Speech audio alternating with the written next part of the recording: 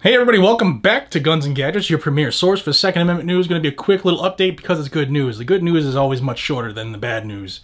Uh, the good news is is that this morning early I, I spoke with a uh, member of Gun Owners of America and they had consulted with their attorney who were looking at the uh, bill Remember I told you a couple days ago that uh, they had told me they looked through the entire bill when it was approved on the Senate side, and I'm talking about this new stimulus bill that the president just signed, uh, the 454 billion additional dollars.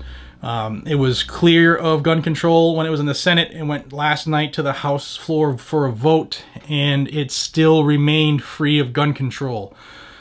That is good news. However, there are already more whispers of another stimulus uh, type of bill or package coming through, that they want to do something else.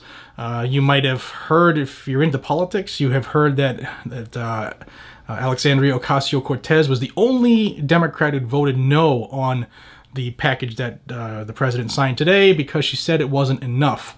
And she's also on record, uh, she was on a video that I saw a couple days ago saying that she didn't think that we should go back to our, our old normal where people would work 60, 70 hours a week and have to pay bills and do that stuff. well, that's amazing. It's amazing. But uh, yeah, so as of right now, we're good to go. However, there are already whispers of another stimulus deal, and we have to pay attention to that. So if you want to stay on top of it, subscribe to Guns and Gadgets if you haven't already. If you're new here, thank you for joining us. And if you're an old timer, thank you so much for being around since the days uh, when this channel was much smaller. And uh, I owe it all to you guys and gals who watch.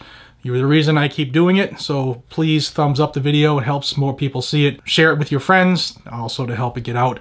Uh, and uh, the more we know as a group, the stronger we are. So thank you for your time. Until we see each other again, be safe, stay vigilant, carry a weapon, and we already have our eyes on the next bit of stimulus. Take care, everybody.